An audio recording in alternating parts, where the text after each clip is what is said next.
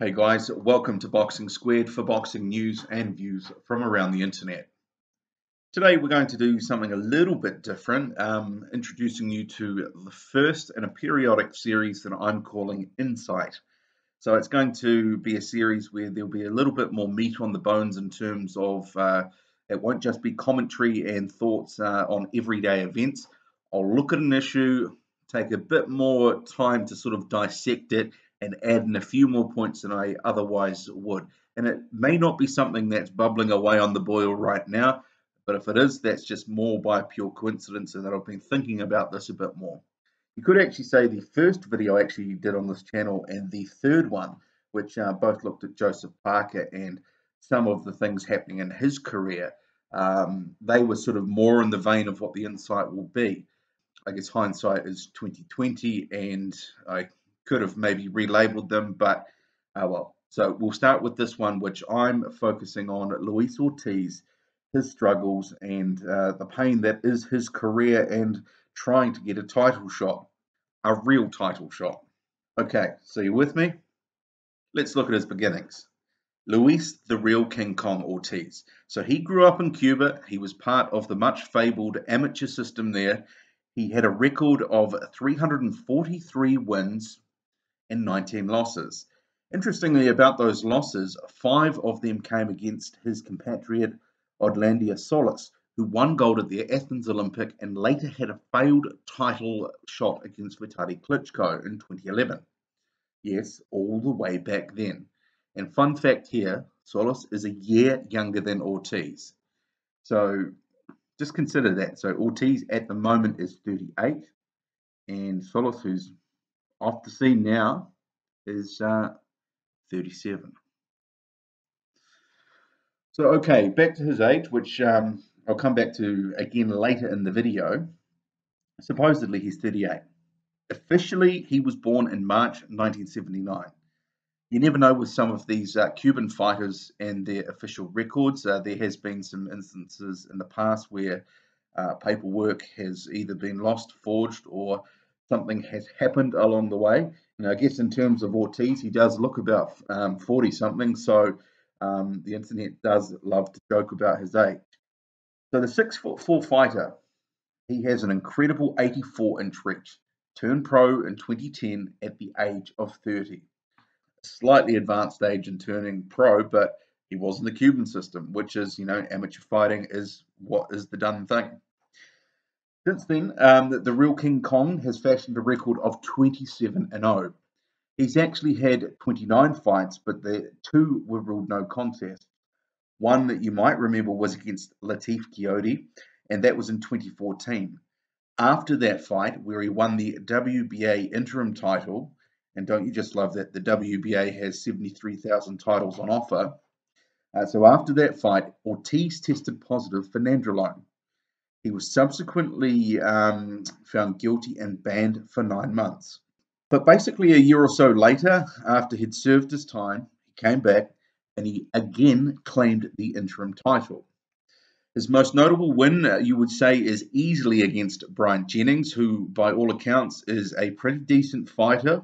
Uh, I certainly rate him. He went 12 rounds with Klitschko, and uh, Ortiz um, knocked him out and he really looked good in that fight.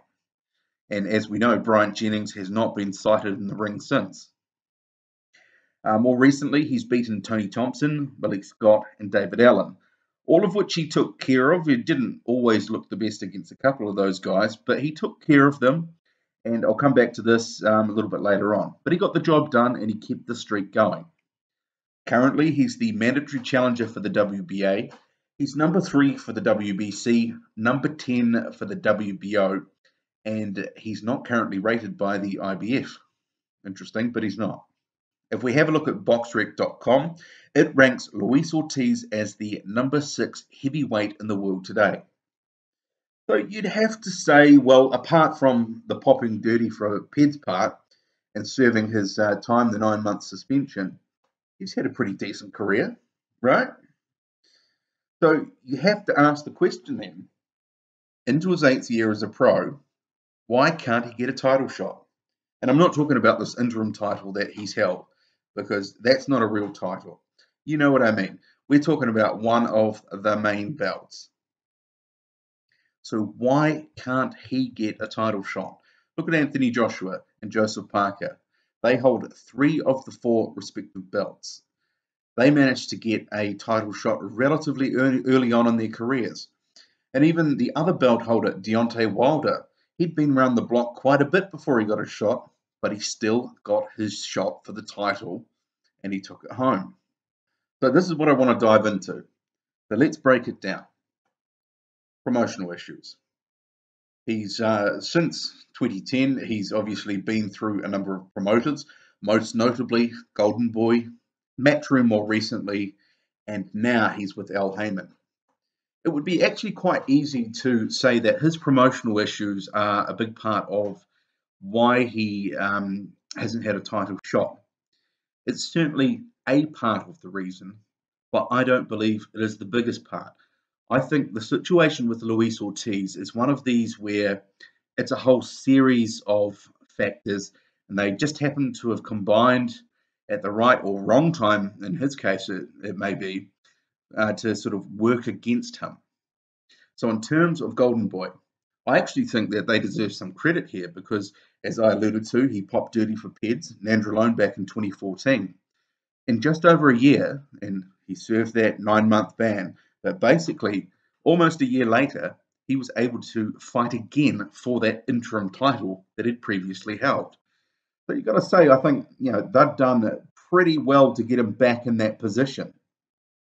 Obviously, he wasn't happy that he wasn't getting um, a shot. Eventually, he left Golden Boy and he signed more recently, about a year or so ago, for Matchroom. So that was much vaunted at the time, and people were speculating, well, Luis King Kong Ortiz, he's finally going to get a shot now. It didn't turn out that way. As we later found out, he was on a fight by fight deal. And it just so happened to be he looked like shit in both of them. Against Malik Scott in Monaco, couldn't cut off the ring. And Malik Scott looked like he wanted to lay down all night. The ref, the ref basically had to haul him back off the canvas to keep him fighting. It, it wasn't a good look. And Ortiz then faced David Allen, and that was on an undercard. Was it a Joshua fight? I can't remember actually. He got the job done, but he didn't look like the sort of force you were expecting. People saying that this guy is the most avoided heavyweight in the world. Well, I don't know why people were avoiding him if that was what he was bringing to the table. Anyway, we'll come back to the most avoided part a little bit later on. After the Dave Allen fight, he left Matchroom. It was a little bit surprising, but uh, then he signed for Al Haymon. He hasn't had a fight yet. He was scheduled to have a fight against Derric Rossy earlier this year, I believe in April, hurt his hand, and he's been on the shelf since. He's got that WBA mandatory position locked down, so that is to fight Anthony Joshua, and he probably is not going to do anything in the, for the time being. But we'll have to see. He's going to have to take some sort of stay busy fight at some point.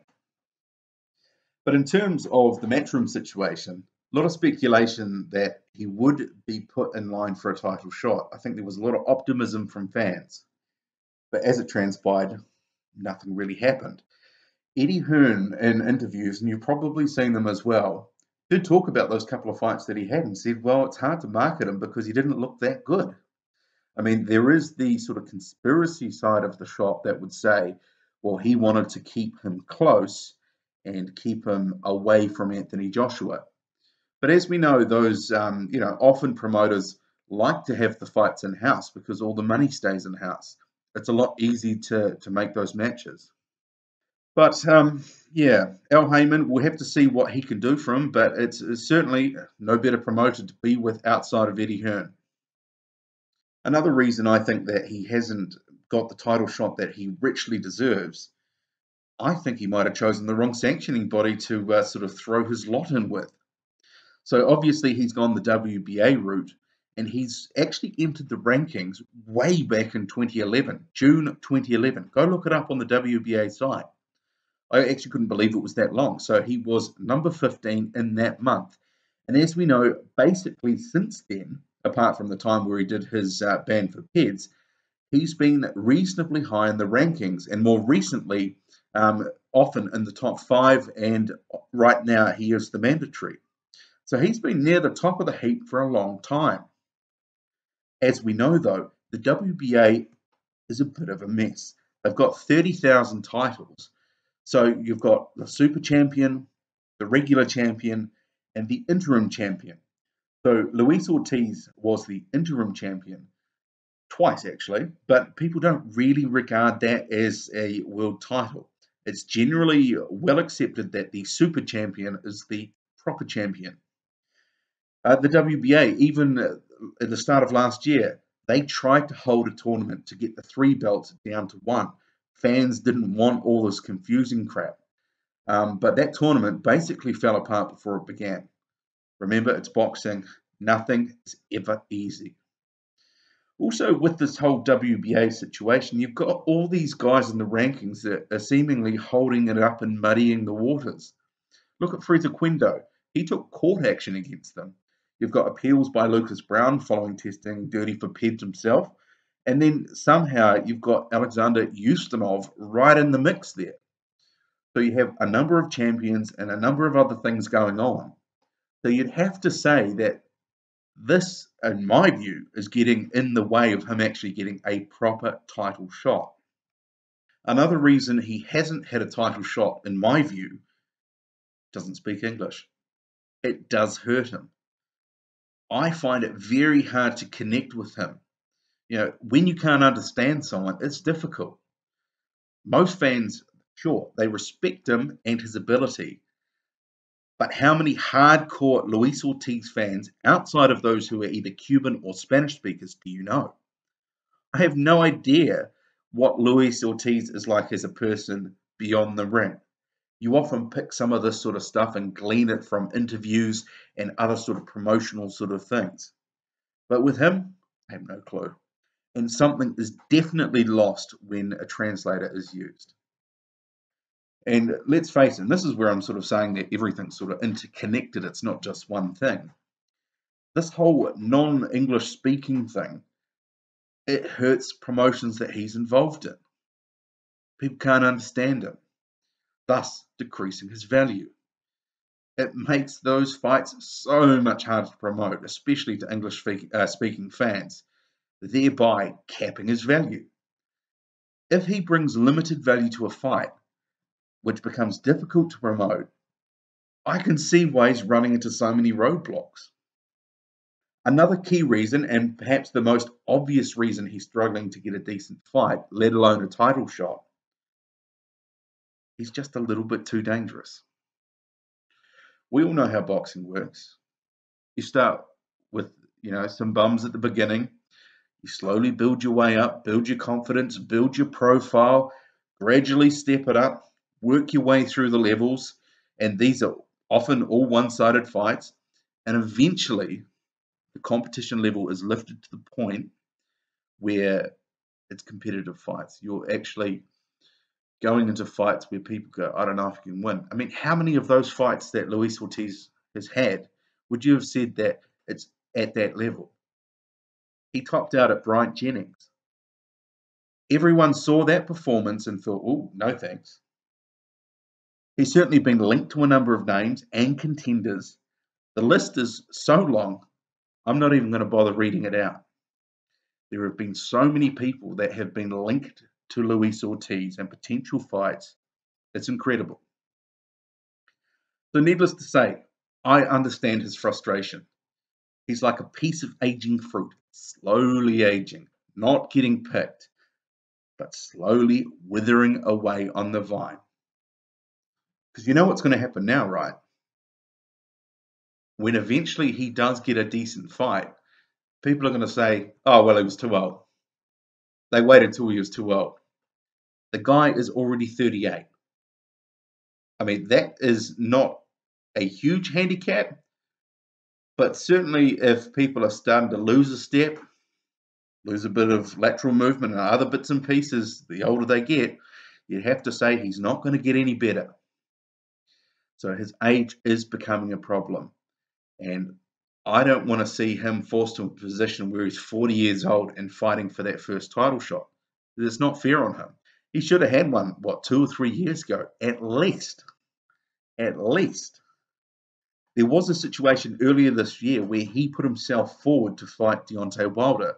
As we know, Wilder's um, fight, I think it was Wawrzyk, he tested dirty for peds. God, so many peds in the sport. Anyway, Gerald Washington was eventually sort of uh, drafted into fight. But Ortiz had stepped forward on social media and said, I'll take that. I will fight you. That was only on a few weeks' notice.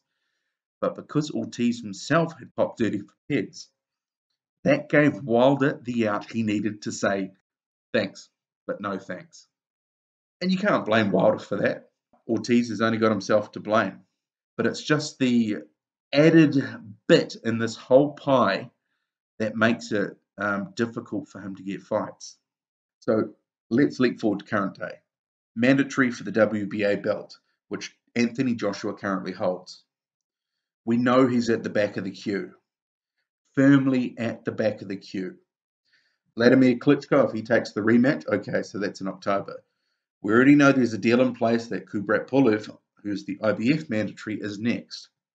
So Ortiz, he's at least looking this time, if not later, next year to get his shot. Jesus. I know people have come out and said that, you know, he's got the, and this is his people, that he's got the paperwork to prove he should be next. And they'll go to court and they'll make it that he has to give up the belt and that sort of stuff. I don't think that will happen. The WBA wouldn't allow it.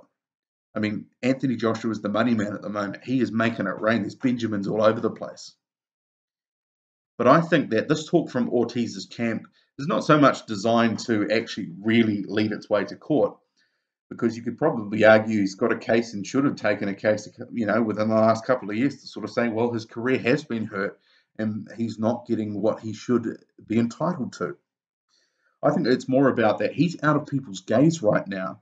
He just wanted to remind them I'm still here. Don't forget about me. The real King Kong Ortiz, he's still here. I feel for the guy. But as they say, history doesn't repeat, but it does rhyme. Things will not change for Luis King Kong Ortiz, and boxing is the poorer for it. That's it from me. Hit like and subscribe. Really interested in your thoughts on this one. Drop a comment. I'm out.